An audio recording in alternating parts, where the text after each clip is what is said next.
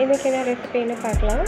இன்றைக்கி கொள்ளு ரசமும் கொள்ளு துவையலும் எப்படி பண்ணுறதுன்னு பார்க்கலாம். இதை இன்னக்குள்ளே நான் நைட்டே ஊற வச்சுட்டேன். நல்லா வாஷ் பண்ணிவிட்டு நைட்டே ஊற வச்சாச்சு. இப்போ இந்த தண்ணியை வடிச்சிட்டு குக்கருக்கு மாற்றி தண்ணி ஊற்றி தேவையான அளவுக்கு உப்பு போட்டு நல்லா வேக வச்சு எடுத்துக்கலாம். கொள்ளெல்லாம் அடிக்கடி சேர்த்துறது உடம்புக்கு ரொம்ப நல்லது. வீட்டில் இருக்க குழந்தைகளுக்கு இப்போ இருந்தே இந்த கொள்ளை சட்னியாவோ ரசமாவோ வச்சு கொடுங்க. ரொம்ப நல்லது. இப்போ கொள்ளு ரசம் வைக்கிறதுக்கு ஜீரகம் கருவேப்பிலை மிளகு கொத்தமல்லி பவுடர் இது எல்லாத்தையுமே நல்லா பவுடராக ஃபஸ்ட்டு இடித்து எடுத்துக்கலாம். பவுடராக இடித்து எடுத்தாச்சு. இது கூட ரசத்துக்கு தேவையான பூண்டும் நல்லா இடித்து எடுத்துக்கலாம். ஏன்னா ஆரம்பத்திலே பூண்டு போட்டால் ஜீரகம்லாம் இடிக்க முடியாது. அதனால ஜீரகம்லாம் நல்லா பவுட்ரு பண்ணதுக்கப்புறம் கடைசியாக பூண்டு சேர்த்துலாம் நல்லா இதுவும் இடித்து எடுத்துக்கலாம்.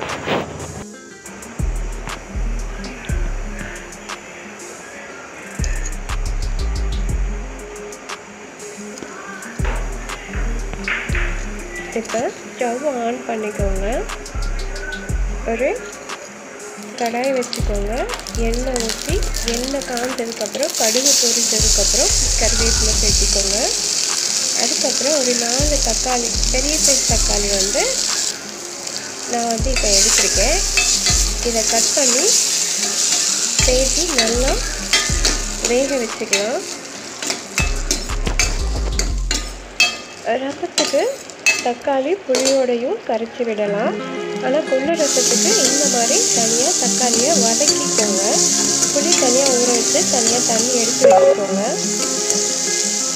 இப்போ தக்காளி நல்லா வதங்கி வந்துடுச்சு நம்ம எடுத்து வச்சுருக்க இந்த ரச பவுடரை இது கூட ஆட் பண்ணிவிட்டு இதையும் நல்லா மிக்ஸ் பண்ணி விட்டுக்கோங்க. கறிவேப்பிலையெல்லாம் இந்த மாதிரி இடித்து நல்லா ரசத்துக்கு போடுங்க. எந்த அளவுக்கு நம்ம கறிவேப்பிலை சேர்த்துக்கிறோமோ அந்த அளவுக்கு நம்ம ஹெல்த்துக்கு நல்லது.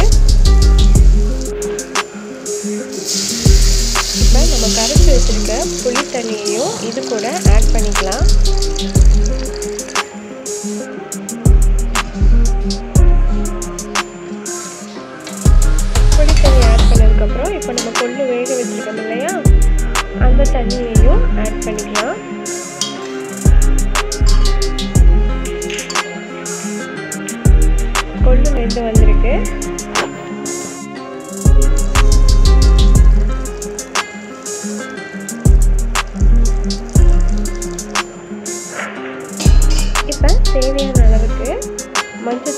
மஞ்சத்தூள் போன டீஸ்பூன் அளவுக்கு மஞ்சத்தூள் சேர்த்திக்கோங்க.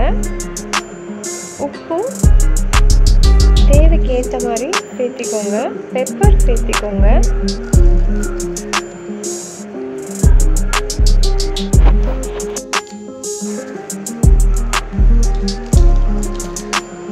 ஏன்னா கொள்ளு வந்து கொஞ்சம் செரிமானம் ஆகாது அதனால நம்ம பெப்பர் தூள் சேர்த்திக்கலாம். பெருங்காயத்தூளும் கூடவே சேர்த்திக்கோங்க.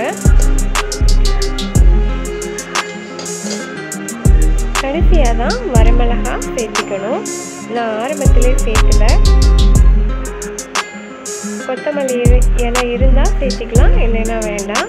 இப்போ இந்த ரசம் ஒரு கொதி வரட்டும். அவ்வளோதான் கொள்ளு ரசம் ரெடி ஆயிடுச்சு.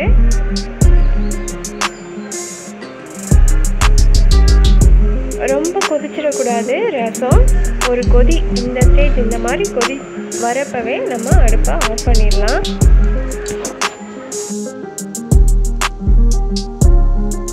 இப்போ கொள்ளு ரசம் ரெடி அடுத்து கொள்ளு சட்னி எப்படி பண்ணுறதுன்னு பார்க்கலாம்.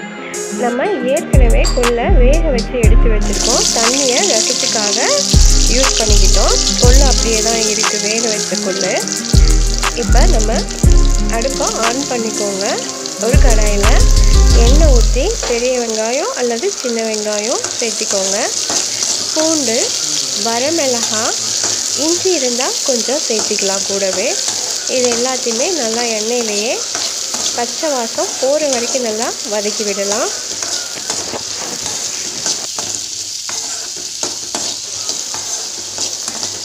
வெங்காயம் எல்லாம் நல்லா வதங்கினதுக்கப்புறம் ஜீரகம் கொஞ்சம் சேர்த்துக்கோங்க. ஜீரகம் ஆரம்பத்திலேயே நம்ம சேர்த்திட்டோம்னா ரொம்ப கருகி போயிடும் அதனால கடைசியாக சேர்த்திக்கோங்க. துவையல் கெட்டு போகாமல் இருக்கிறதுக்கு நம்ம புளி கொஞ்சம் ஆட் பண்ணிக்கலாம். ஒரு சின்ன நெல்லிக்காய் சைஸ் அளவுக்கு புளி ஆட் பண்ணிக்கோங்க. இது எல்லாத்தையுமே நல்லா எண்ணெயிலேயே வதக்கி விடலாம்.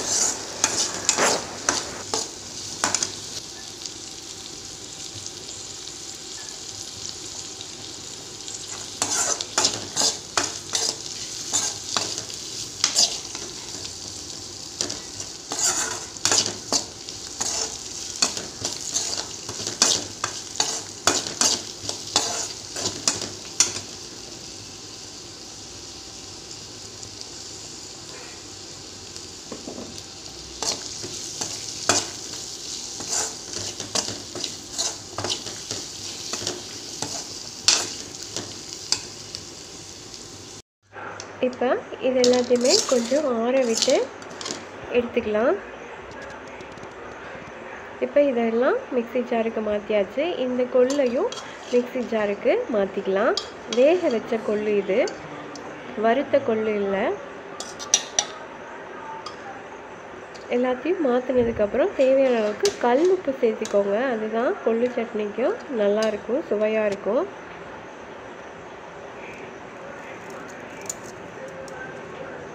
அவ்வளோதான் இதை நல்லா அரைச்சி எடுத்துக்கலாம். இப்போ கொள்ளு துவையலும் ரெடி ஆயிடுச்சு. ஒரு சூப்பரான கொள்ளு ரசம் அண்ட் கொள்ளு சட்னி ரெடி பண்ணியாச்சு.